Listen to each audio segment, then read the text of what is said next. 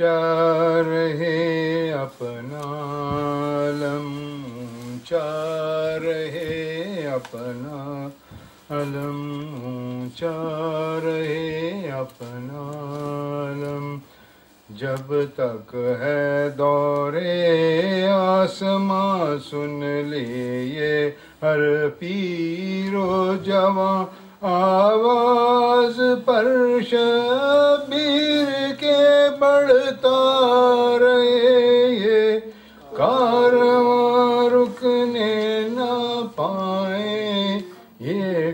کرم چاہ اپنا۔ ہر قلب پر چھاتے چلو، دنیا کو بتلاتے رہو۔ ایک ایک محاذے ظلم کی تصویر دکھلاتے چلو۔ ہر دل میں بھر دو شہ غم اونچا رہے اپنا علم اونچا رہے اپنا علم یہ پرچے میں عباس ٹوٹے دلوں کی آس اب تک کسی پر چمتلے زندہ کسی کی پیاس ہے جس نے سہیلا کھو سے تم چا رہے پنالم چا رہے، اپنا عباس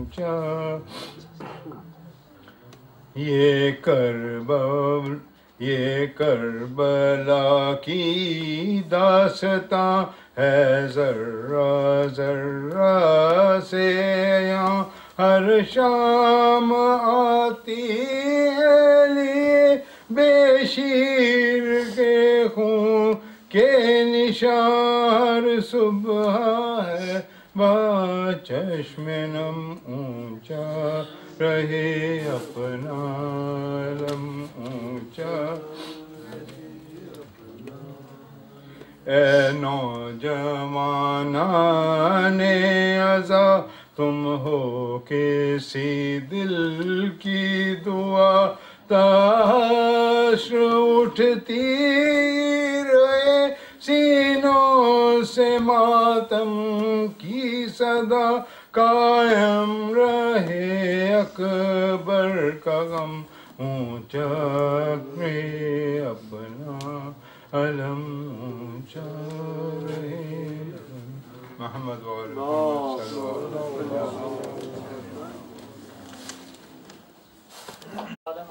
الله اللهم صل على محمد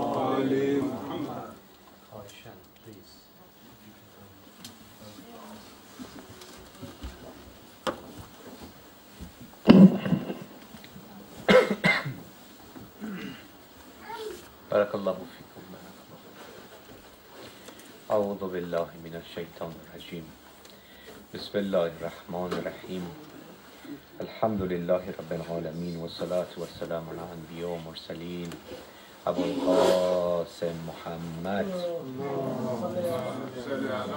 وآل المعصومين الطيبين الطاهرين Dear brothers, dear sisters, dear distinguished guests, Assalamu alaikum wa rahmatullahi wa barakatuh. وعليكم السلام ورحمة الله وبركاته. Yesterday we spoke about death and uh, we had some replies and feedbacks of uh, some brothers and sisters about the definition of death and asking why we somehow speaking about death without speaking about life. Probably we need to have um, a definition of life.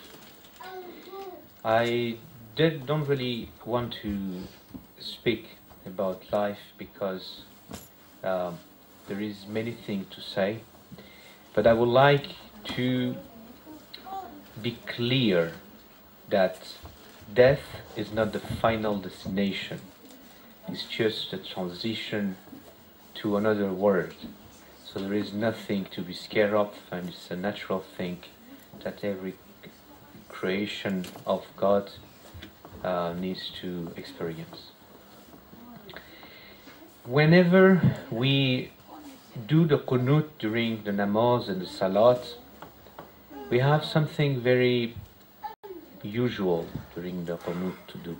It's ربنا آتنا في الدنيا حسنة وفي آخرة حسنة وقنا عذاب النار.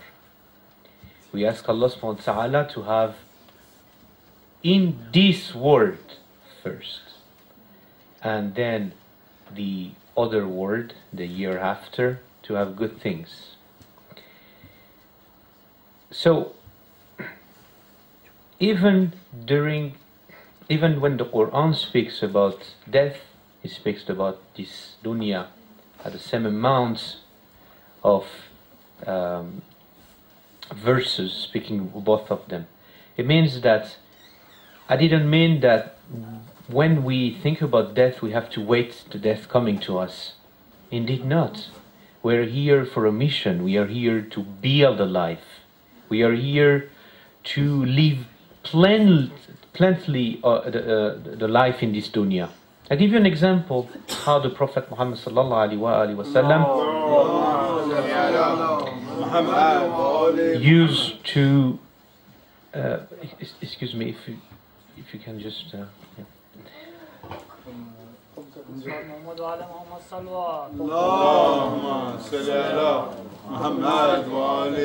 Uh, the Prophet Muhammad used to spend time just to complete complete and to observe the nature.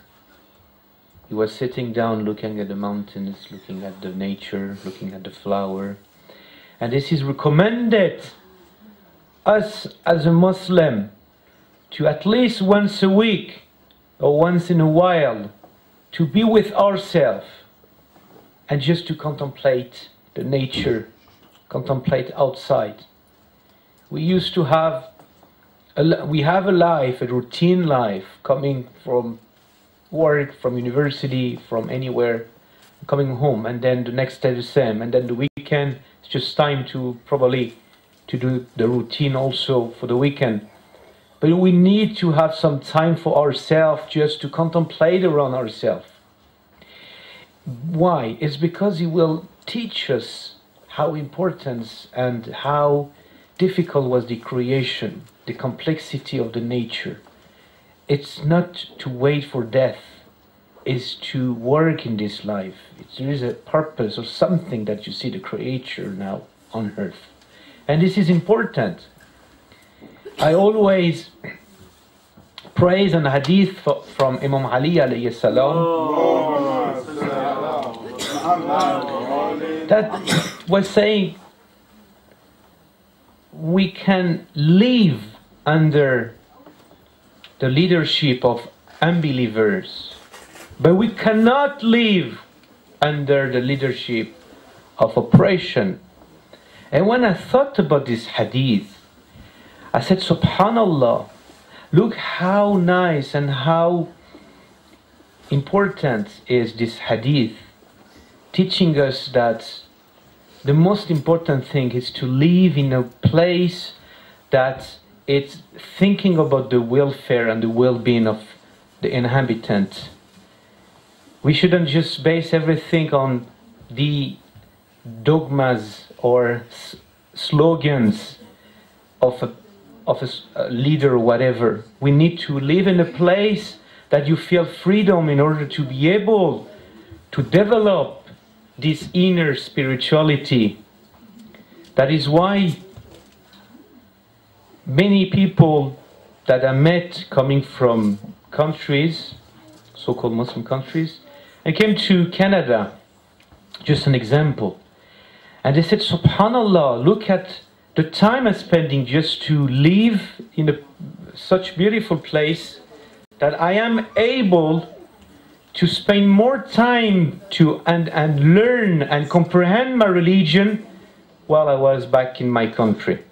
I don't want to give you a very dirty picture, it's just to emphasize of the importance to spend time and to have a kind of freedom of schedule, freedom in a cult, in, in a country to be able to follow religion plenty, freely especially, and to not divorce with this word, not to think that one now I need to just wait for my death and just pray for Malik al Maut to take my soul.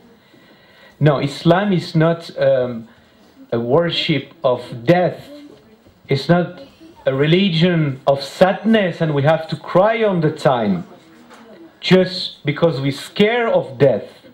No, it's a religion of love, of compassion, of sincerity, helping human being to have a good life in this life. I need to emphasize that.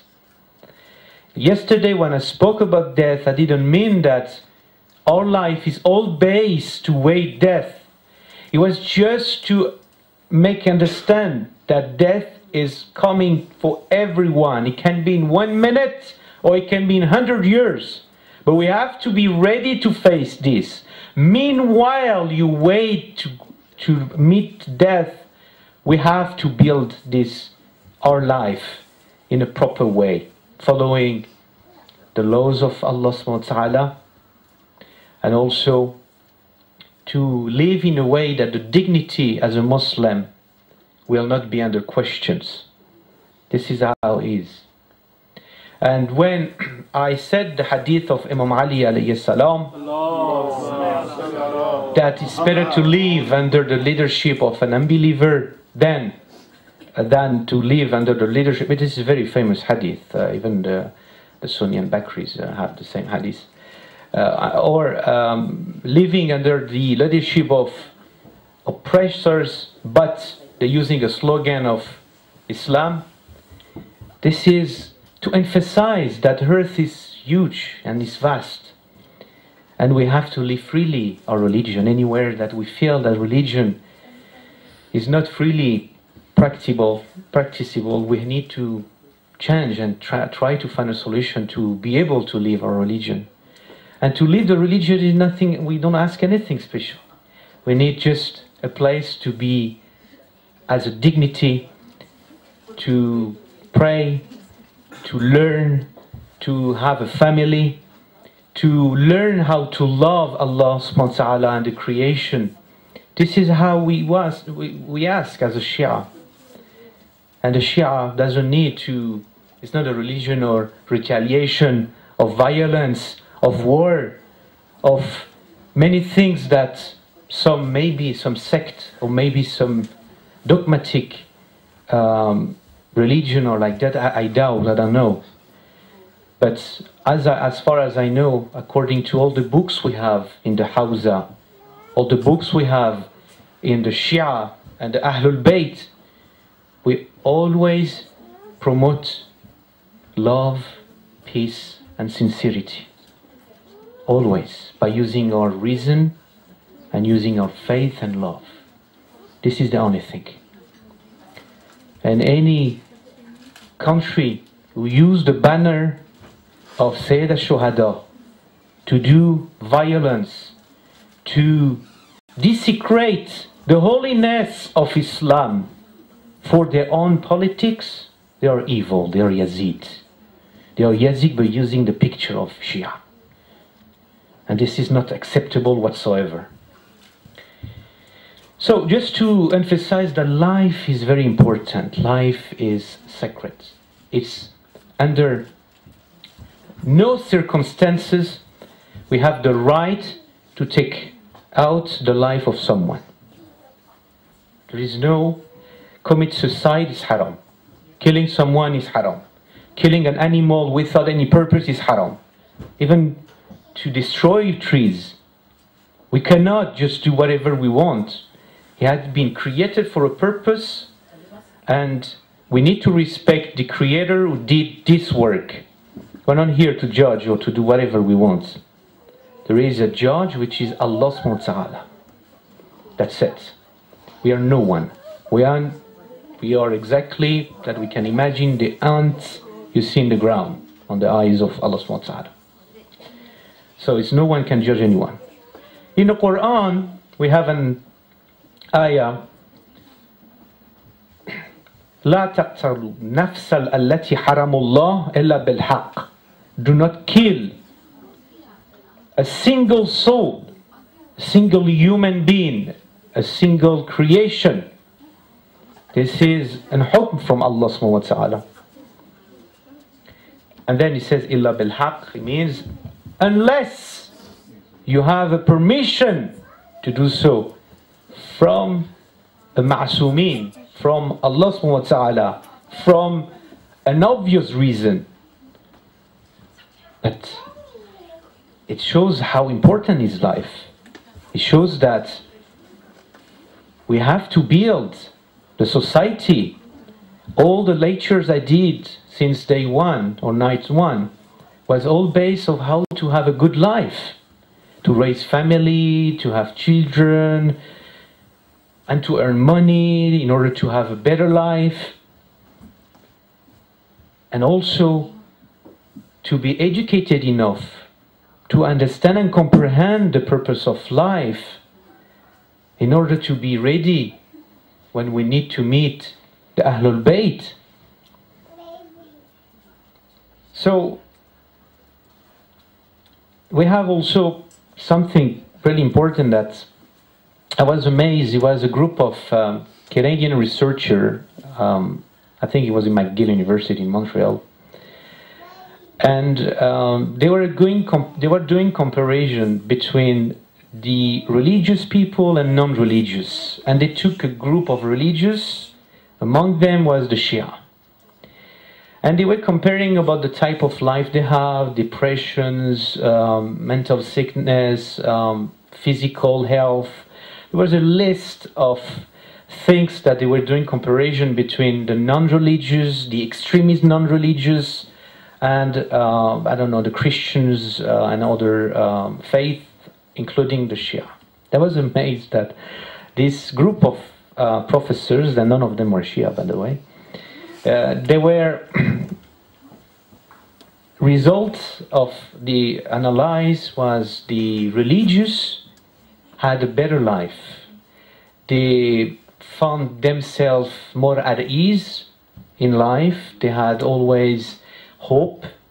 Any uh, problems, they will return to their own faith, comparing to the non religious who use drugs, alcohol, commit suicide, ending up sometime in a psychiatric hospital with uh, high uh, medications. So it shows religion is a medication. It's something. There is something someone who is religious. And when they was doing more for the Shia, they realized the one who is the more healthy is the Shia. Why? It's because Shia has a meaning. He has something else. We cry for anything Allah likes. We are happy for anything Allah wants. This is how a religion is the most complete religion on earth. There is no religion like this Shiism. We don't need to complete our religion with another religion. Some people do a religion a la carte. For example, they choose one faith. Because there is something missing in that faith, they go to choose another faith to complete. For example, in France, for some Catholic families, they complete their faith with Hinduism because they miss some spirituality, and vice versa in other faiths. But we don't need to do that. It's the most complete one. It's the one that God sent it to us, especially, especially for the youth to be serious in religion.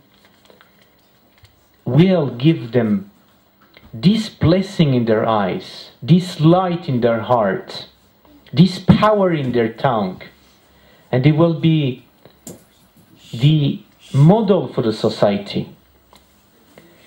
Alhamdulillah that everyone thinking about education are educated.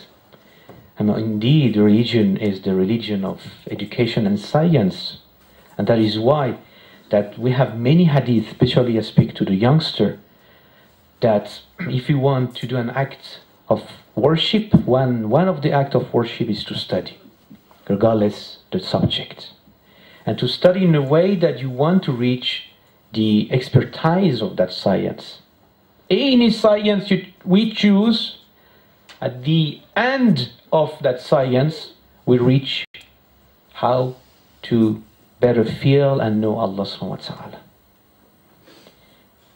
But indeed, as a Hawza student, I always say, I am proud to be just a Hawza student. I just said just because for many it says, well, to be a, a Talabe or a Hawza student is nothing. Why you want to spend your time to study the same subject?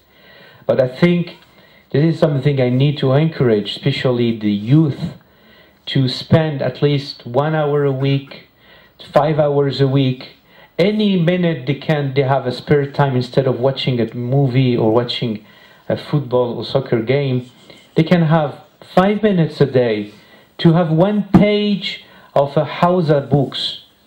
For example, Usul al-Fiqh Muzaffar, Lu'matain, they can try the commentary of Lu'ma, or many other subjects. They want to learn about akhlaq, about the commentary of the Quran. And at the uh, previous time, maybe a century ago, even non-religious used to know subject from the Hawza. But now the Hawza becomes something very limited that only certain type of people study the Hawza. But this is not good. It's open for everyone. I was amazed when a couple years ago I was in Qom, now even a little bit more, because I was looking for um, to move to another flat. And I went to a, a place that uh, letting agent. He was just letting you know flats, and I was I needed to move um, because I changed my my school in Qom. And um, the one who was renting, I was seeing him with a book, and I said, "What do you read?" He said, "I'm reading Rasail. It's one book of the Hawza on level nine, level eight. I said, "Subhanallah, you you're reading this?" He said, "Yeah." You know, I don't, when I don't have customer, I just read all of them. And the end of the week, I see uh, an alim, and I will ask him question.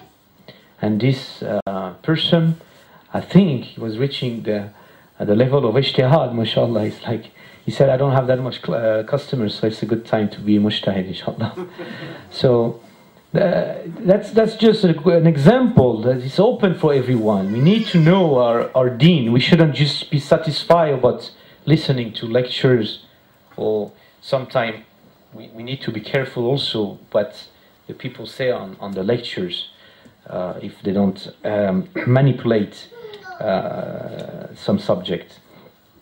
So that's what I wanted just to say briefly about the importance of building uh, a good life and I don't want to take a lot of our time today because I think it's a special night of uh, the night of uh, Abu Fazl Abbas alayhi salam and um, just it was a kind of reply for uh, the subject I had yesterday about death. And inshallah everyone will enjoy to live uh, with dignity with faith with love of the Ahlul Bayt to be educated to have a good life to be able to be strong enough financially to help others, to help the one who cannot um, have a good life. We have many Shia who are oppressed and they don't have money even to buy sim simple uh, clothing or food. So that's the reason we need to uh, be uh, to work as much as possible to be able to help others. صلوات بر محمد و آل محمد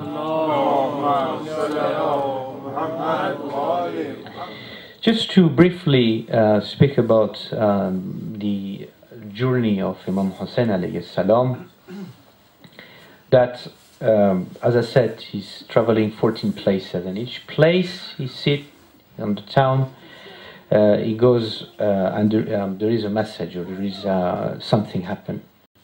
On the fifth place is the town of Zabala. This town, basically, he met two tribes, and those two tribes, they speak to them, and he heard about the news of the martyrdom of Muslim ibn Aqil. salam. And he was very, very sad.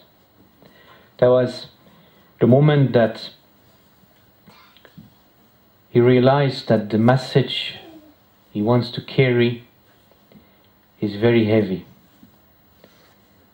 because is really going towards kufr, people who leading kufr, and he needs to carry this light, even the killing anyone they can see, without any mercy in their heart. And when Imam Hussein salam heard this news, he went towards the daughter of Muslim ibn Aqil. She was four years old. And he was giving her hearings, putting her on his lip, his lap, and he was giving her the, the hearing. And she was saying, Why are you giving me a present? He said, This is a present for you. And then she said, Does it mean that I am orphan now? and Imam Hussein oh. just said, just said that, inshallah, your father is in a good place now.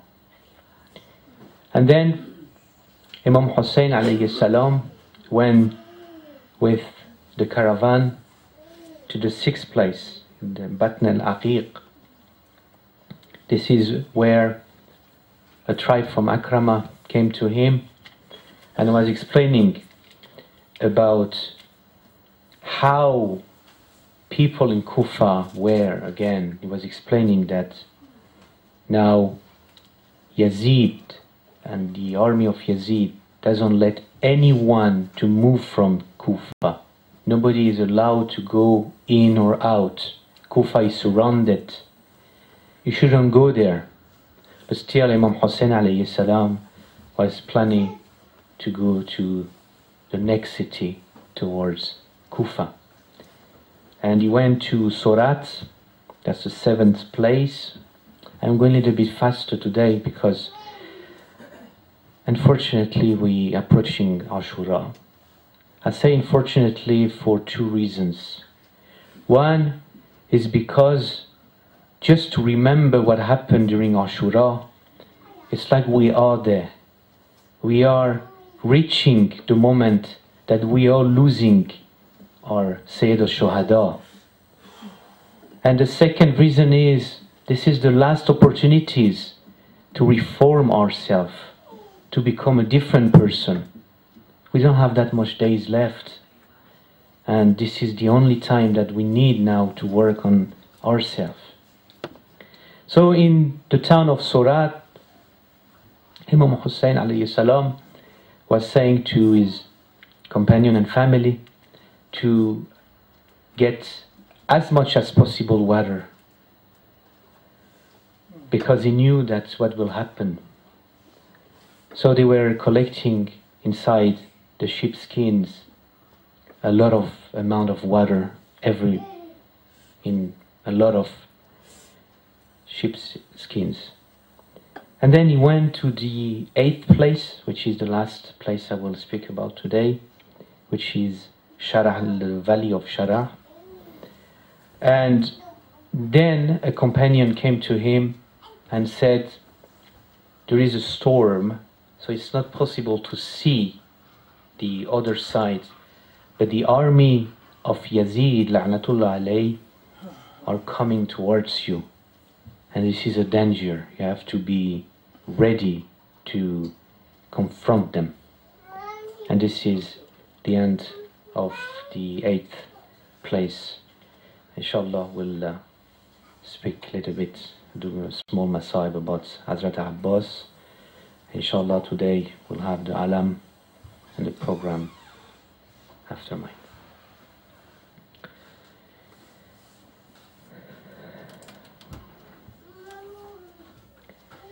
As you know, Hazrat Abbas alayhi salam was 36 years old, very handsome man. He used to be called the moon, the moon of Ha, the son of Hashem.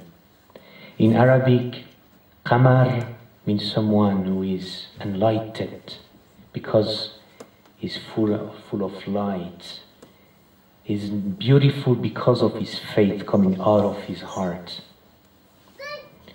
And this is the time that before the Ashura and the day of Ashura, the fights were intense after the prayer of Dhuhr.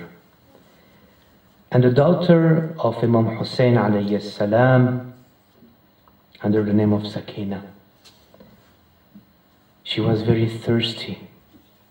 She wanted to have some water.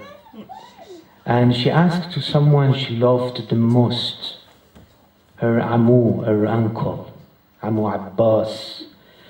And she was asking to her uncle, Uncle, can I have some water, please? And if, indeed, Hazrat Abbas, the Alamdar, the Qamar Bani Hashim, was, he was very proud and happy to please Sakina bint al-Hussein. At the same time, Hazrat Abbas was very sad, very angry to see that Hazrat Qasim was killed really badly by Yazid, la'natullah alayh. But indeed, they just wanted to save Islam, to save the message of the Holy Prophet Muhammad sallallahu alaihi wasallam. Bibi Sakina bint al-Hussein said, Amu Abbas, my uncle Abbas, Al-Atash, I am thirsty. Please give me some drop of water. And Abbas had the permission to get some water from Hussein alayhi salam. And Imam Hussein said, Ya Abbas, kiss me, just tell me goodbye before you leave. And Abbas went towards the river of Furat. He went on the horse and called the Eghab. The name of the horse was Eagle. You know why they call it the Eagle? Because that was the horse of Prophet Muhammad and Imam Ali alayhi salam. He went towards the river of the Furat. And Hussein just said, Abbas, Imam Hussein said, Ya Abbas, I want to ask you something. Abbas said, please tell me, my beloved brother, what do you need from me? And Hussein alayhi salam said, I want a gift from you. Can you give me your sword? And Abbas gave his own sword to Hussein alayhi salam. He went with the alam and went and reached the river of Furat. When he was in front of the river of the Furat, he, he spoke with the water. He wanted to drink this water. And he said, Oh, water of Furat, my lips can welcome you only after that Sakina will drink this water and he just put the water inside the, the mashk and he wanted to bring it back to give it to Sakina. And Umar ibn Sa'ad, la'natullah alayh, when he saw Al-Abbas coming towards the tent, with the water, he said, You have to stop him. And he said to the army, Umar ibn Sa'ad said to the army, You have to stop Al Abbas. And the army came towards Abbas and wanted to kill him. But Abbas was very strong. He didn't want to let the army to kill him. So the army did something else. He said, We have to stop him to bring the water. So he cut one harm and Abbas wanted to continue and then the second harm fell down in the ground. Ya Allah they cut the hands of Abbas. He's on the horse and he wanted to keep this water under his teeth and wanted to bring it. But the army wasn't satisfied. It was saying it's not enough. We have to stop. We don't want the water going under the tent. And Sakina was saying to her father, Oh Hussein, I'm thirsty. I want some drop of water.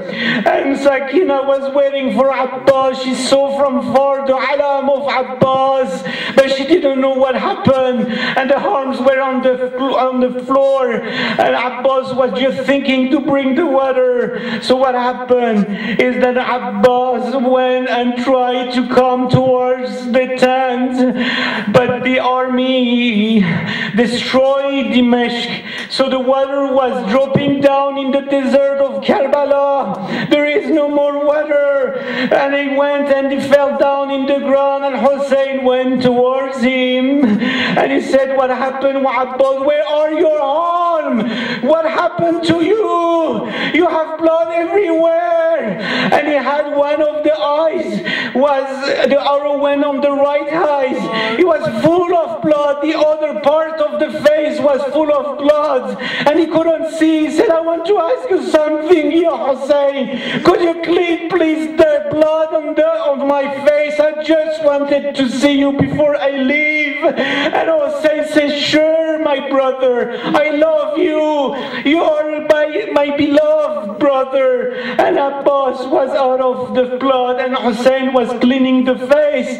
And he said, I wanted only one thing else to tell you, Ya Hussein. Please do not bring my body to Sakina. I don't want her to see how I am.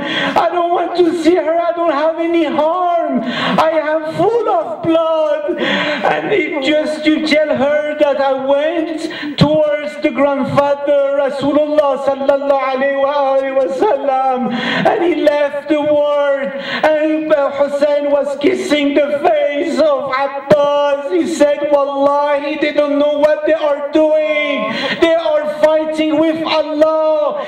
The curse of Allah will be upon them in a way that the angels, the jinn, all the creations was crying for Hussein, cries also for Abbas.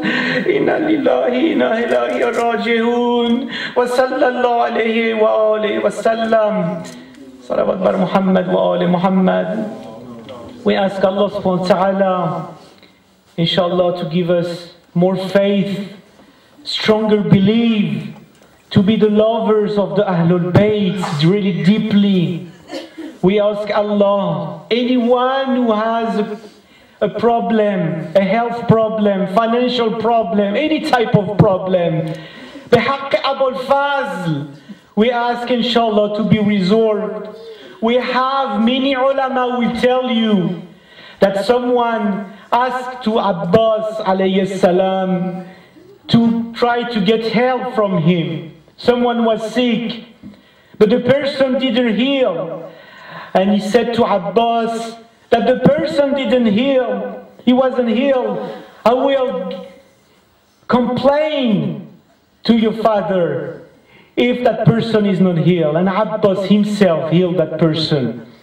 So it's the best time for now to ask Allah subhanahu wa ta'ala for any problem we have. Wallahi, I said last time that before the day of Ashura, we will have the answer, inshallah, from Hazrat Abul Fazl. وصلى الله عليه وسلم. السلام عليكم.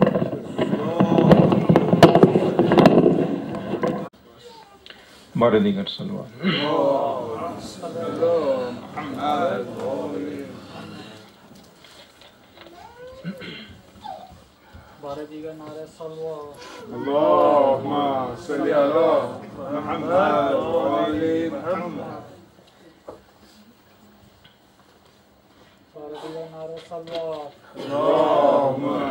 على محمد وآل محمد أعوذ بالله من الشيطان الرجيم. بسم الله الرحمن الرحيم. الحمد لله رب العالمين. الصلاة والسلام على رسوله الكريم وعلى آله الطيبين الطاهرين المعصومين المظلومين. صلوات. اللهم صل على محمد وآل محمد ولعنة الله على أعدائهم ملعونين أجمعين من يوم هذا إلى يوم الدين. أما بعد فقد قال الله تبارك وتعالى في كلامه المجيد بسم الله الرحمن الرحيم. إن الله وملائكته يصلون على النبي. يا أيها الذين آمنوا صلوا عليه وسلموا تسليما. اللهم صل على محمد وآل مسلسل آپ کی خدمت میں ولایت کے حوالے سے چند گزارشات عرض کرتا رہا ہوں۔ اسی سلسلے میں آج میں نے سورہ احزاب کی آیت آپ کے سامنے تلاوت کرنے کا شرف حاصل کیا، جس میں اللہ تبارک تعالیٰ ارشاد فرماتے ہیں کہ اللہ اور اس کے ملائک نبی پہ درود بھیجتے ہیں۔ یا الذین آمنو، اب دو حکم ہیں۔ سلو علیہ و تسلم وسلم تسلیمہ یعنی دو باتیں ہیں۔ اور یہ ایسی آیت ہے جو یوں کہا جائے کہ بوڑھا ہو، جوان ہو، بچہ ہو، جب بھی پڑھی جاتی ہے تو دل سے سلوات نکلتی ہے۔ یعنی ادھر سے آپ نے آیت پڑھنا شروع کی، ادھر سے تیار ہو گئے درود پڑھنے کے لیے۔ لیکن یہ ایک حکم ہے جس کی بجاوری کی جاتی ہے یعنی سلو علیہ۔ اور جو دوسرا حکم ہے، وہ حقیقتاً ولایت کے زمرے میں آتا ہے۔ وسلم تسلیمہ یہ عمل کی بات ہے۔ جب یعنی ان کا حکم مانو اور سر تسلیم کر، خم کرو۔ اور کیونکہ پہلے حکم میں جو ہے سلول ہے، وہ تو خود بھی شامل ہیں۔ اللہ بھی شامل ہے ملائکہ بھی شامل ہے لیکن دوسرے میں ہم یعنی جو مخاطب ہے، یا الذین آمنو یعنی اس طرح سے حکم کی بجاوری کرو۔ جیسے سورہ نساء میں حکم ہوا، اللہ کہتا ہے، تیرے رب کی قسم یہ مومن نہیں ہے، نہیں ہو سکتے۔ جب تک تجھے اپنے معاملات میں حاکم نہ مانے۔ اور جب تم فیصلہ، آپ فیصلہ کریں تو اس کو یعنی بغیر کسی ہچکچاہٹ کے تسلیم کریں۔ تو یہ مومن ہے، ورنہ مومن نہیں ہے۔ تو مومن کے لیے یعنی ولایت کی بات یہ ہے۔ ایک حصہ تو یہ ہے کہ آپ محبت کرتے ہیں۔ لیکن ولایت کے جو زمرے میں بات آتی ہے وہ ہے عمل۔ یعنی جو کہا جائے وہ مانا جائے۔ جیسے آپ نے دیکھا نا مثالیں دی کل کہ پتھر گواہی دے رہا ہے۔ پانی پہ سے مولا کا نام لے کے گزرا جا سکتا ہے۔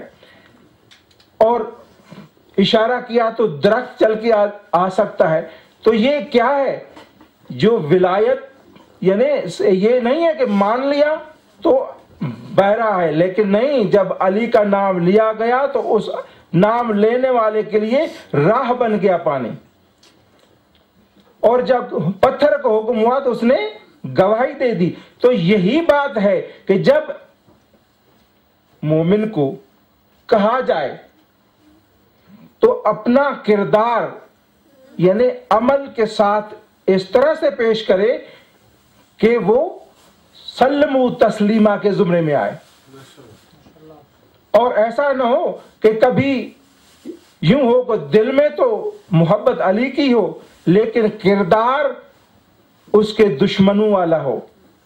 ہوتا ہے جب انسان اسی لیے تو مولانا نے فرمایا نا کہ وہ ہمارا شیعہ نہیں ہے جو اللہ سے خوف نہ کھائے۔ یعنی جو اللہ سے خوف نہیں کھاتا یعنی تقوی اختیار نہیں کرتا، وہ ہمارا شیعہ نہیں ہے۔ تو ایسے اللہ نے بھی کہا کہ تیرے رب کی قسم یہ مومن نہیں ہے جب تک کہ تمہیں حاکم نہ مانے۔ تو بات وہی آتی ہے اور اگر یہی بات یعنی دیکھنا چاہیں تو حضرت عباس مکمل تصویر ہے ولایت کی۔ یعنی سلم و تسلیمہ کی مکمل تصویر ہے۔ کہیں بھی آپ کو جب دیکھا دیکھیں، جب حضرت عباس کو کچھ کہا گیا، پلٹ کے جواب نہیں دیا، پلٹ کے اس پہ آرگیومنٹ نہیں کیا، جو کہا گیا، اس کو سر تسلیم کر کے عمل کر لیا۔ اور یہی حضرت عباس، جس کو باب الحوائج کہا جاتا ہے، اللہ ایسے کسی کو باب الحوائج نہیں بناتا۔ یہ بھی دیکھا جائے کہ آخر کیا وجہ دی کہ حضرت عباس کو باب الحوائج کا درجہ دیا گیا۔ ہم دیکھتے ہیں، تاریخ میں یہی ملتا ہے کہ یہ وہی شخصیت ہیں جس کے جس کے لیے حضرت علی علیہ السلام نماز تہجد میں دعا مانگتے تھے۔ اے میرے اللہ، ایسا مجھے بیٹا عطا کر جو میری طرف سے کربلا میں حسین کی اس طرح سے حفاظت کرے۔ جس طرح میں رسول کی کرتا رہا ہوں۔ اور جب حضرت عباس اس دنیا میں آتے ہیں، تو مولا مسجد میں ہیں اطلاع دی جاتی ہے کہ گھر میں بیٹا پیدا ہوا ہے۔ جب مولا سجدہ شکر دے کے آتے ہیں، تو دیکھتے ہیں کہ حضرت ابوالفضل عباس پیدا ہو چکے ہیں، ہاتھوں میں لے کے دیکھتے ہیں کہ بے شک ایسا ہی ہے جیسے میں نے مانگا تھا۔ پھر دیکھ کے کہتے ہیں، اے ام البنین، آپ گھبرائی گھبرائی کیوں لگ رہی ہیں؟ اللہ نے تجھے بیٹا عطا کیا ہے۔ کہا کہ میں وہی جواب دیا جو جناب فاطمہ بنت اسد نے علی السلام کے ولادت کے وقت رسول پاک کو دیا تھا۔ کہ مولا، میں اس لیے پریشان ہوں کہ جب سے پیدا ہوا ہے، آنکھیں نہیں کھولی کہا کہ گھبراؤ نہیں، کہا کہ حسین کو بلاؤ۔ اور جب حسین آئے تو مولا نے حضرت عباس کو مولا حسین کے ہاتھوں میں دے دیا۔ جب مولا کے ہاتھوں پہ آئے نا حضرت عباس حضرت عباس نے آنکھیں کھولی اور پہلی زیارت کی۔ اور اسی لیے تو کہا تھا نا آخر وقت میں، مولا، جب میں شہادت کے بعد کہا تھا نا کہ میں نے جب دنیا میں آیا تھا تو پہلے آپ کی زیارت کی تھی۔ اب جب میں اس دنیا سے جا رہا ہوں، میری آنکھوں میں خون ہے۔ میری آنکھوں کا خون صاف کرے میں آخری آپ کی زیارت کرنا چاہتا ہوں۔ اور حضرت عباس نے یوں ہی دونوں ننے ننے ہاتھ بلند کیے۔ ایسے جیسے کہہ رہے ہوں، مولا، یہ میرے ہاتھوں کا ابھی سے نذرانہ قبول کر لے۔ اور جب جناب زینب نے سنا نا بابا کے منہ سے کہ عباس اس کا نام رکھتا ہوں میں، کیونکہ اس سے پہلے حضرت محمد حنفیہ بھی پیدا ہو چکے تھے۔ لیکن حضرت یعنی عباس پہلے نام سنا۔ جب جناب سیدہ زینب سلام اللہ علیہ نے سنا نا کہ عباس پیدا ہوئے ہیں، تو آئی، بابا، یہ عباس ہے ہاں بیٹا، یہ عباس ہے۔ کہا کہ، بابا، مجھے دے دیں۔ جب یہ عباس ہے تو مجھے دے دیں اور جھک کے بھائی کے کانوں میں کچھ کہا تو مولا نے کہا، زینب بیٹے، کیا کہہ رہی ہو؟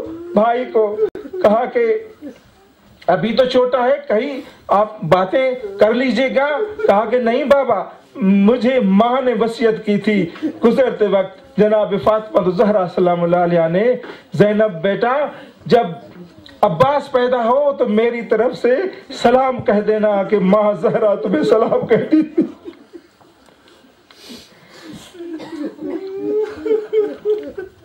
اور حضرت عباس دیکھیں، جب پیدا ہوتا ہے، دعا ہے کہ کربلا کے لیے۔ بڑا ہوتا ہے تو ماں کہتی ہے کہ تو کربلا کے لیے مانگا گیا ہے۔ بھائی بہن کہتے ہیں اور حضرت عباس کے ذہن میں ایک ہی تمنا جنم لیتی ہے، ایک ہی مراد ہے اس کے ذہن میں، ایک ہی حسرت ہے کہ میں نے، میرا ہدف یہ ہے کہ کربلا میں میں حسین کی نصرت، مدد کے لیے پیدا کیا گیا ہوں اور وہی یہ حسرت تھی۔ اور جو بھی جنگ کے یعنی حرب کے فنون سیکھے اور اس کو وہیں پہ آزماؤں گا اور میں مولا کی حفاظت کروں گا، یہ حسرت تھی۔ اور جب میدان کربلا میں وقت آیا، تو اسی کو یعنی حضرت عباس کو ہی تلوار استعمال نہ کرنے دی گئی اور روک دیا گیا جنگ سے۔ یعنی اس طرح سے یعنی یعنی جو وہ پوری زندگی، جیسے آپ نے سنا نا، چونتیس یا چھتیس سال کی عمر تھی، یہی حسرت تھی۔ اور وہی حسرت جب امام حسین علیہ السلام نے کہا نا کہ نہ بھیا، آپ نے جہاد نہیں کرنا، آپ نے تلوار نہیں اٹھانی۔ تو پلٹ کے یہ نہیں کہا میرے تو زندگی کا مقصد یہی اور مجھے ہی روکا جاتا ہے۔ نہیں، ولایت کے آگے سر تسلیم خم کیا۔ جب اللہ نے یہ دیکھا نا کہ اپنی پوری جو زندگی کی مراد تھی، حسرت تھی، تمنا تھی، وہ یعنی ولایت کے آگے سر تسلیم خم کر دیا تو اس وقت کہا کہ اب تو نے اپنی حسرت ولایت کے لیے اور میرے لیے دبا دی ہے، تو میں بھی وعدہ کرتا ہوں، تا قیامت جب بھی تیرے نام سے کوئی دعا مانگے گا، اس کی دعا خالی نہیں جائے گی۔ اور تو بابلا واج اور حضرت عباس دسویں کی رات اب اپنی تلوار کو سیکل کر رہے ہیں اور اتنے میں جناب سیدہ زینب سلام اللہ آتی ہیں۔ تو جناب عباس بڑے احترام کے ساتھ اٹھ کھڑے ہوتے ہیں، کہتی ہیں، آقا زادی مجھے بلا لیا ہوتا۔ کہا کہ بھیا، بات یہ ہے کہ سب بیبیاں مجھے کہہ رہی ہیں کہ کل کا دن ایسا ہے، تو ہمارے پردوں کا کیا ہوگا؟ ہمارے حجاب کا کیا ہوگا؟ تو اس لیے میں آپ کے پاس آئی ہوں۔ تو کہنے لگا، آپ گھبرائیے نہیں، جب تک آپ کا یہ غلام زندہ ہے، آپ کے پردے سلامت ہے تو جناب سید آتی ہیں کہ آؤ بھر جائیو آؤ بہنو، میں وعدہ کرتی ہوں کہ تمہارے پردے سلامت رہیں گے۔ اور جب دسویں کا دن چڑھتا ہے اور یارو انصار قربان ہوتے ہیں اور بنو ہاشم کی باری آتی ہے تو ہر بار حضرت عباس کہتے ہیں، مولا مجھے جنگ کی اجازت دے دیں تو امام حسین کہتے ہیں، بھائی، آپ تو میرے لشکر کے سپہ سالار ہے آپ کو پتا ہے سپہ سالار بیچ میں شروع میں نہیں جاتا۔ مولا خاموش ہو جاتے ہیں۔ اور آخر میں جب جوانان بنو ہاشم شہید ہو جاتے ہیں، مولا آ کے پھر کہتے ہیں آقا، اب تو اجازت دے دے کہتا ہے مولا، میرے بھائی، تو تو میرے لشکر کا سپہ سالار ہے۔ تو حسرت سے کہتے ہیں، میرے میرے آقا، وہ لشکر ہی کہاں رہا جس کا میں سپہ سالار اور اتنے میں حضرت عباس خیمے کی طرف آتے ہیں، تو جناب سکینہ، کئی بچوں کو لے کے ہاتھ میں خالی جام لے کے الاتش الاتش الاتش کا نعرہ بلند کر کے آتی ہیں اور جب حضرت عباس کو دیکھتی ہیں، کہتی ہیں، چچا آپ بھی ہوں اور ہم پیاسے بھی ہوں، آپ کچھ پانی کا بندوبست کریں۔ اب حضرت عباس نے دیکھا نا کہ یہ موقع شاہ ہے اور جناب سیدہ سکینہ کو لے کے اور امام حسین کے پاس آتے ہیں۔ جب مولا حسین نے دیکھا، سمجھ گئے، کہا کہ میرے بھیا، اب ایسا کریں کہ آپ یہ مرحوم زیدی صاحب کے الفاظ ہے کہ مولا نے کہا کہ آپ پانی تک پہنچ جائیں۔ اب اس کی تحقیق تھی کہتے اگر کہتا نا کہ پانی لے کے آؤ تو ضرور خیمے تک آتے۔ کہا کہ پانی تک پہنچ جاؤ۔ اور حضرت عباس جب چلے ہیں میدان کی طرف، تو اس طرح سے لشکر اشکیا کو چیرتے ہوئے فرات تک پہنچے ہیں کہ پانی کو لے کے دیکھ کے کہتے ہیں کہ اب بتاؤ پانی تمہارے قبضے میں ہے یا ہمارے قبضے اور حضرت عباس نے اپنے گھوڑے کو کہا کہ گھوڑا پانی پی لے۔ اب یہ دیکھیں، یہاں یعنی وہ عقاب جس کی بات کی گئی ابھی اکاب نے اپنی زبان بے زبانی میں کہا، میرا سردار پیاسا ہے میں کیسے پانی پیوں؟ اکاب نے بھی پانی نہیں پیا مولا نے مشک بھری، اور جب چلنے لگے نا، تو اب عمر ابن سعد نے کہا کہ ایسا کچھ کرو کہ حضرت عباس پانی لے کے خیام تک نہ پہنچے۔ جب حضرت عباس پانی لے کے آگے بڑھتے ہیں، تو بیبیوں بیبیاں خیام میں دیکھ رہی ہیں کہ علم بلند ہے، سب کو حوصلہ ہے۔ ایک بار علم جھوم گیا، سیدھے ہاتھ کی طرف، اور جب بازو مولا کا کٹ گیا تو دائیں ہاتھ میں، بائیں ہاتھ میں علم کو پکڑا۔ اور جب بایاں ہاتھ قلم ہوا تو علم زمین پر آیا۔ اور اس وقت حضرت عباس مشق تسمے منہ میں ڈال کے خیمے کی طرف گھوڑے کو دوڑا رہے ہیں، تو عمر ابن سعد ہرملا کو کہتا ہے ہرملا تو کش کر کہ اس طرح سے کہ پانی خیام تک نہ پہنچے۔ تو اب دیکھیں، دشمن جیسا بھی ہے، لیکن وہ بے عقل، بے وقوف نہیں ہے۔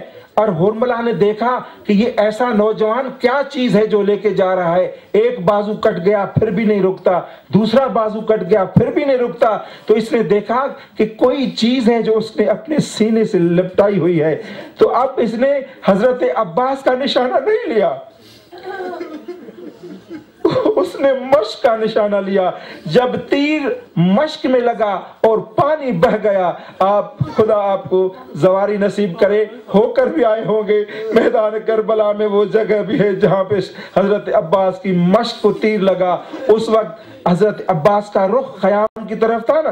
جب پانی بہ گیا، حضرت عباس نے خیام کی طرف سے رخ موڑ کے یہ لشکر کی طرف رخ کیا اور اس وقت اتنے تیر برسائے گئے کہ حضرت عباس گھوڑے سے زین سے زمین پر آ گئے اور آواز دی، السلام علیکم یا ابا عبداللہ. اور مولا وہاں سے چلے اور مولا نے یہ جملہ کہا، عباس، تو نہیں گیا، میری کمر ٹوٹ گئی.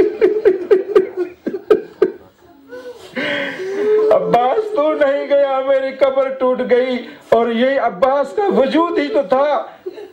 تو کہتے ہیں علی سب کا مشکل کشا ہے، لیکن اہل بیت کا مشکل کشا عباس تھا۔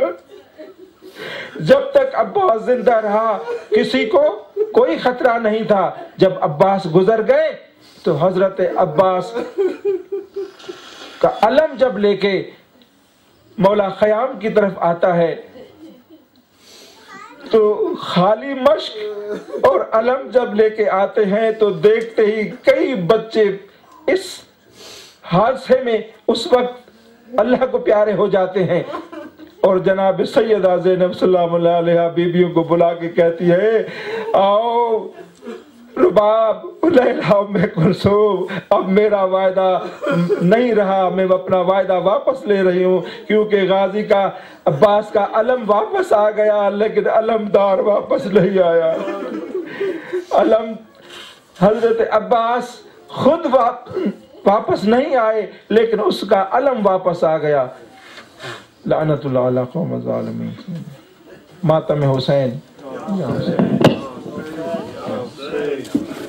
Hussein.